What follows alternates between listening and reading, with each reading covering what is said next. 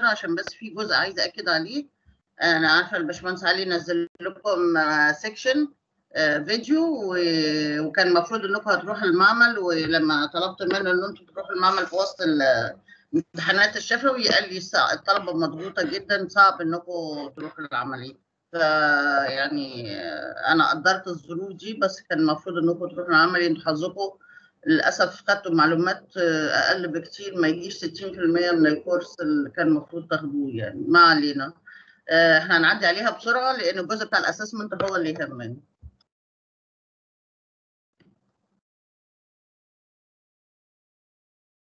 ليه بناخد عينة؟ عشان خاطر نعرف. آه، ال- ناخد سامبل علشان نختبرها ونشوف. طب أنا عندي ممكن أختبر إزاي؟ ممكن أجي على الشط كده لو المسافة قريبة. ممكن في سفينة في الأعماق الكبيرة لو أنا عايزة آخد في عمق آه، في البحر. ممكن آخد في وسط المجرى المائي على منشأ زي كوبري أو قنطره كل الكلام ده ده معمل متنقل لعمل عينات. آخد العينة وأحللها في نفس الوقت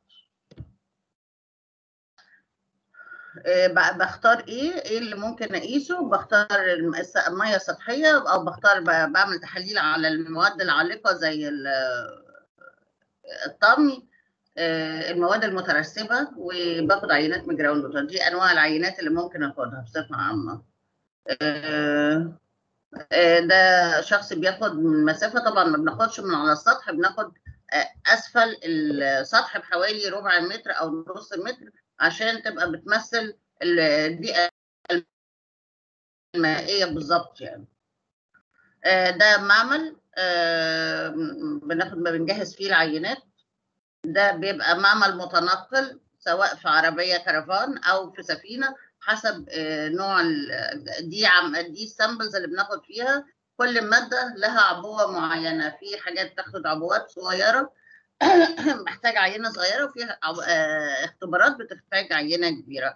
وعلشان أحافظ عليها بحطها في ice box علشان تفضل محتفظة بحالتها لو أنا هوديها المعمل وفي مسافة انتقال بين المعمل وبين أخذ العينات عشان أحافظ على حالة العينة. ولما أخدها أحطها برضو في الثلاجه لحد ما أجي أجري العينات. آه، دي ال- الحاجات اللي إحنا بنقولها ودي قلناها قبل كده. إيه الم... إيه ال parameters ال variables اللي بناخدها؟ دي نراجع عليها وقلت أنا الجزء ده لازم يكون. يعني معروف. إيه أهم الحاجات اللي إحنا لازم آه ندرسها؟ الصفحة دي أو ال slide دي مهمة هيجي لك فيها سؤال. إيه الحاجات اللي المفروض آه بتعمل لها اختبارات؟ ال parameters. أنا عملتها ثلاث مرات آه في محاضرتين قبل كده وبعملها لثالث مرة. ال water quality parameters group إيه الحاجات اللي إحنا محتاجين نقيسها؟ لو عندنا إمكانيات مادية كويسة ولو عندنا إمكانيات مادية قليلة ممكن المختصر بتاعها الصفحة دي بالنسبة لك جاي لك سؤال. آه ده بقيتها. آه لو ده لو أنا بعمل أي شغل عادي لازم أعمل المجموعة دي. في إمكانية أعمل أكتر بعمل كل اللي فات. يبقى أنا لو عندي دي الكومن أو اللي كل الناس بتعملها محدش ما, ما بيعملهاش. عندي أزود عليها أزود اللي قبل كده. إيه براجع لثالث مرة؟ آه عمق المية أنا قلت في المرة اللي فاتت والرؤية والحرارة والمناخ والأكسجين المذاب وال pH وال E. coli بكتيريا وال total phosphorus total nitrogen الامونيا وال chlorophyll a ده كله physical و hydrological و chemical و biological يعني كل الأنواع الأربعة. وعندك activity المفروض إنك سيادتك هتقدمها عشان تقول كل حاجة من اللي أنا مديها لك دي نوعها إيه في التقسيمه هي physical ولا chemical والكلام ده مطلوب من سيادتك تقدمه. وإحنا بنقفل الدرجات فهنديكم لحد نهاية الأسبوع بتاع الشفوي اللي عايز يقدم مش هزنقكم في التقديم بس لحد ما قبل الامتحانات كله يكون قدم المطلوب منه سواء assignment أو آه قلنا برضو قبل كده ال standards دي قبل كده واتكلمنا عليها. إزاي بقى بعمل ال sampling process أنا هقول الخطوات ومش هتكلم عندكم المحاضرة ترجعوا عليها أول حاجة إن أنا أحضر العينات وبعدين أحضر الجهاز اللي هقيس بيه. وبعد كده أنزل أخد العينة سواء بقى بمركب زي ما قلت أو من على الحافة أو من بأي طريقة من على منشأ. وبعد كده أشوف هبتدي أعمل إيه في العينة. هاخدها في ال field ولا هوديها المعمل؟ لو في field measurements باخدها في ال field وأسجلها على طول. لو في حاجات تتعمل في المعمل سواء chemical أو biological بوديها المعمل وزي ما قلت بنحافظ بنحافظ عليها في ice box ومن ال ice box بنحطها في الثلاجه في المعمل لحد ما ابتدي أعمل عينات عشان أحافظ على حالتها. ال sampling stations اللي هي المحطات اللي بنرصد فيها وإحنا اتكلمنا عليها قبل كده هنا بيشرح إيه هي ال sampling station بعملها إزاي واحددها إزاي يا ريت ترجعوا لها تاني. هو طبعا الجزء ده أنا عايزه أوصل فيه بس لل sheet اللي إحنا بنرصد فيه علشان هو ده اللي هنبتدي نعمل عليه ال analysis. دي ال stations اللي هي محطات الرصد اللي هو الرصد المكاني اللي قلنا عليه. إزاي أعمل ال station اللي هاخد منها العينات؟ دي sample من العينات ادي دي المتغيرات الماكسيمم والمينيمم ماكسيمم ومينيمم ماكسيمم ومينيمم ومين. ماكسيمم المفروض إن أنا دايما أه بسجل العينات بتاعتي على كده. طبعا في المشاريع الكبيرة لو أنا عندي stations كتير فباخد maximum و minimum ومتوسط المتوسط ده حسابي أو هندسي أو إحصائي whatever بال SPSS ايا كان. أنا بعمل ال أه دي إحدى ال sample بتاعت النتائج. لأحد الأنهار نهر تايمز آه دي النتائج بتاعته ودي ال parameters اللي موجودة عشان تشوفوا هي ال reports وال analysis في الآخر بيطلع على شكل tables وبيطلع في الآخر بنقول هو آه الحالة عبارة عن إيه. دي النتيجة دي هي حالة المية شكلها عامل إزاي في النهر. نفس الكلام دي sampling station ال community المجتمع اللي هي فيه دي ال pH وال conductivity وال turbidity وال total dissolved ده أحد مجموعة من الأنهار وبيترصد لها النتائج بتاعتها عشان نعمل comparison بينها في الآخر. مجموعة من الأنهار المختلفة ودي النتائج بتاعتها عشان بس نبقى عارفين. لما دي اللي هنعمل دي ال analysis دي النتيجة وهنعمل لها analysis بقى إزاي نمثلها. لكن دي النتائج اللي طالعة من ال sampling وال testing الاختبارات عملنا اختبارات خدنا عينات كانت دي النتيجة اللي شايفينها قدامنا دي أحد الأمثلة للنتائج. sampling frequency اللي هو الرصد الميكاني. أنا هاخد العينة كم مرة؟ التكرار بتاع العينة الواحدة التكرار بتاع العينة من ال station الواحدة كم مرة؟ أنا بعيد وأكد لأن الجزء ده مهم بالنسبة لنا للمهندس المدني اللي هو بيشتغل ك environmental engineer في ال field. آه ال sampling frequency اللي هي أنا هاخد العينة بقى كم مرة من ال station الواحدة؟ ده يتوقف بقى على أهمية العينة. لو حاجة مهمة قوي باخدها كتير لو حاجة آه عايزه أعرف بس فكرة عنها باخدها مرة واحدة. وبرده عندك بالتفصيل تقدر تقرا ولو في أي حاجة آه أنا تحت أمرك هجاوب عليها. آه الحاجات اللي بنقيسها في ال field درجة الحرارة dissolved oxygen ال EC ال electrical conductance أو conductivity ال pH ال alkalinity وال acidity وال turbidity كل دي عندي digital sensors موجودة في المعمل لو حد حب يبص عليها ويجربها إيه بحطها في المية بس مش من على الوش بنزلها تحت في المية لمسافة نص متر وأقيس القراءة مرة واثنين وثلاثه وآخد متوسطات القراءة عشان لو في أي لخبطة أي خطأ في القراية ما باخدش القراية وأكتبها لأ أنا باخد كذا مرة وآخد متوسط القراءات اللي أنا باخدها ودي بسجلها على طول وأنا في الفيلد ده الشنطة دي موجودة عندنا اللي هي فيها ال sensors بتاعت ال field measurement اللي هي بتقيس أربع حاجات. فيها أربع sensors وال sensor دي بتقيس أربع حاجات. ممكن أقرأ منها وممكن أوصلها بكمبيوتر تديني تطبع لي النتائج على طول لو في ability إن يبقى في lab معايا في الموقع وأطبع النتيجة. ما فيش lab أنا ممكن أقرأ النتيجة وأسجلها بإيدي في ال data sheet بتاعتي. الأجهزة اهي. دي جزء منها دي بطارية علشان الأجهزة تفضل تشتغل معايا لفترة ممكنة. لو أنا اول دور يعني في ال field ومحتاج الأجهزة كلها طبعا بتشتغل بالبطاريات. فده شاحن للأجهزة كلها. ودي sensors واللي عايز يروح في أي وقت في المعمل أنا مدية تعليمات إنه اللي عايز يروح يشوف الأجهزة بس يبص عليها مش هيشتغل عليها يبص عليها بس ممكن أمين المعمل يفتح له المعمل يفتح له الأجهزة ويخليه يبص ده حد بيقيس درجه الحرارة ده اللي بقول لكم عليها اللي هي المستنقعات أو ال lagoons أو ال wetlands الناس واقفة فيها أقل من الركبة عشان تقيس. ده بيقيس كمية ال solar energy كمية الطاقة الشمسية في المنطقة. أنا طبعا ده تبع ال weather ده ده وده تبع ال weather. ده بيقيس حاجات في المية ممكن الدبس ممكن حرارة. بقيه الأجهزة دي سنسورز كلها كل واحد بيقيس حاجة والتفصيلة بتاعتها هي عشان برضو لو حد فيكم بعد كده في المستقبل احتاج كل واحد من دول طريقة القياسات بتاعته. ده جهاز حقيقي موجود. أنا عندي الجزء ده تقدروا تطلعوا عليه وتسألوا باشمهندس علي برضو آه في أهم حاجة عندي وأنا بقيس إن أنا أمثل المية مظبوط. يعني ما أخدش من جزء مثلا ما فيش فيه آه عقارة والعقارة موجودة في حتة ثانية أكون بمثل المنطقة مظبوط. يعني لو أنا باخد في ترعه القصد مثلا في ناس بتنزل كده من على الجسر لحد تحت وتاخد المية بتبقى فيها آه قليلة ال depth بتاعها والسرعة آه ضعيفة لأنها قرب الجوانب. الصح إن أنا أوصل لنص المجرى مثلا على ترعه القصد اللي أنا بشتغل بيها فالأفضل إن أنا أقف من فوق الكوبري في النص وأنزل ال sensors بتاعي أو أنزل العينه اللي هاخد بيها ال sample دي هتبقى أوقع وانزل تحت سطح المية بمسافة عشان أبقى ممثل على الأقل معظم المية إنما اللي على الجسر وفي ناس بتعمل كده ده ما بيمثلش آه الحقيقة.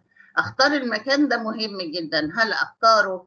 آه في لو عندي مجرى مائي في محوره لو عندي حاجة بتصب مصرف ولا مصنع فين؟ لو عندي محطة مية شرب اختيار المكان. ال sampling مهم جدا لأن هو هيبين لي أنا بعمل باخد عينات علشان خاطر أعرف أتعرف على طبيعة المية.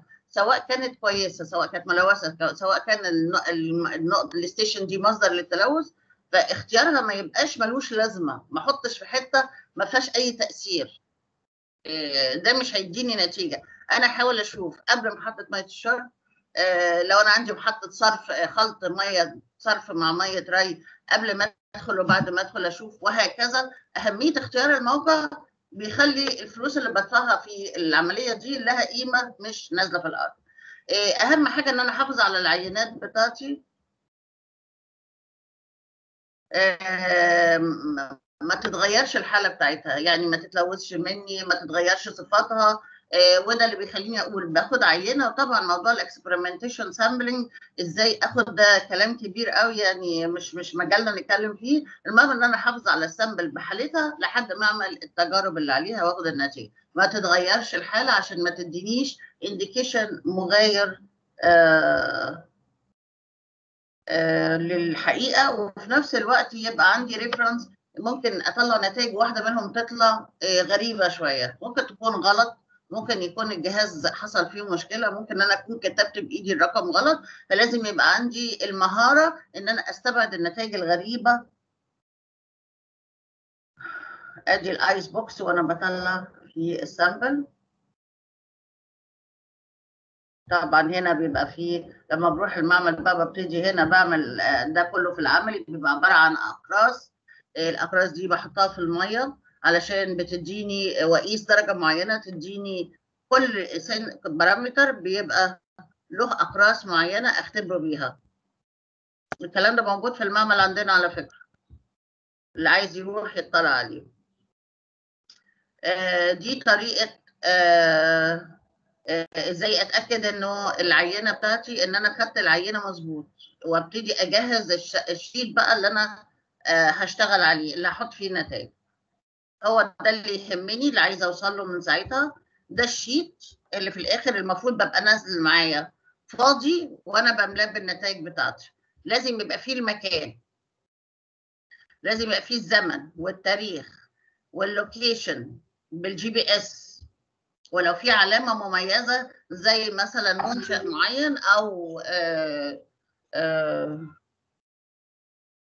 آآ كوبري معين عمود حاجة معينة مميزة لازم تكون موجودة برضو نقول جنب كذا ال physical بقسم ال data بتاعتي physical و chemical و biological وممكن أزود عليها ال hydrological ال temperature وال turbidity دول physical وال TDS بعد كده ال chemical ال pH وال salinity كل في ال chemical وبعد كده دي data حقيقية من رسالة الباشمهندس علي ندى اللي قلت لكم إن هو شغال على كفر الزيات وهو ده العنوان بتاع المنطقة. كان عامل 8 stations دي واحدة منهم. دي station رقم واحد ودي نتائج حقيقية فعلا واللي اتحلل في الموقع النتائج اللي طلعت في الموقع اتسجلت.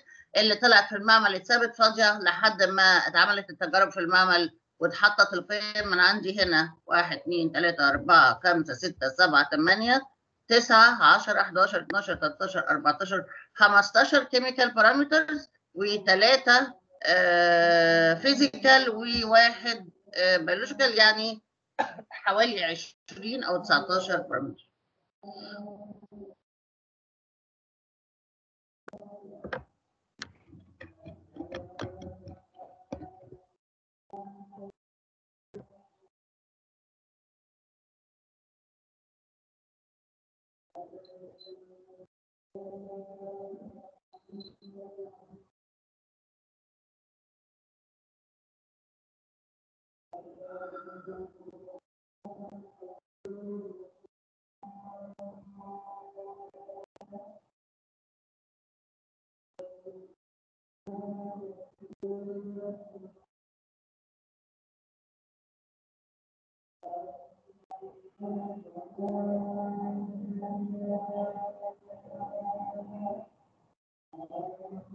زي ما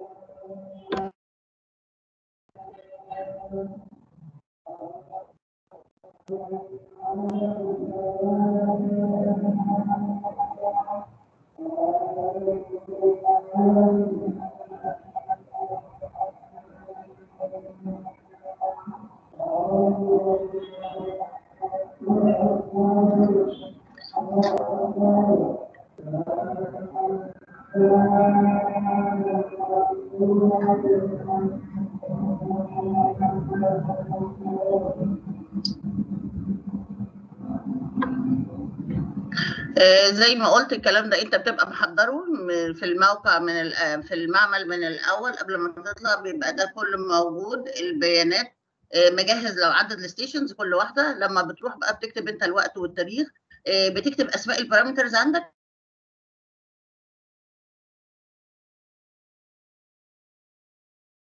واللي مش في ال field تاخد العينات وبعد ما يتم تحليلها تحط النتائج بتاعتها. هنا عندنا اثنين 15 17 و3 20 parameters من ضمن النتائج الهيدروليك إن أنا بحدد منسوب المية عند وقت القراءه ده كان في فرع رشيد ممكن أحدد المنسوب وأحدد ال depth ان أنا أضيف عليهم اللي هو ال hydraulic parameters في خانه برضو زيها أو أكتب بس المنسوب كان موجود كانت في شهر 8 يعني في عز الفيضان ومنسوب المية عالي دي المهم دي اللي كنت عايزة أوصل لها إن أنت إيه لو أنت مهندس في الموقع يعني بتشتغل في المجال ده أنت محتاج أنت تجهز ال data sheet دي أنت اللي هتجهزها حسب النتائج اللي أنت عايزها. في حاجات هتاخدها مرة واحدة وفي حاجات هتحتاج تكررها أربع مرات في السنة كل شهر حسب الحالة بتاعتك. آه يتميز إيه ال river sampling إحنا اتكلمنا عليه قبل كده مع ال monitoring. اهم حاجة sampling stations بحددها وال sampling frequency بحدد quarterly يعني أربع مرات في السنة. معظم الأنهار والبحر أربع مرات في السنة. زي ما أنا قلت ادي القطاع وادي ال river bed وادي المية. النهر بيبقى دايما بشتغل على المحور أكتر حاجة.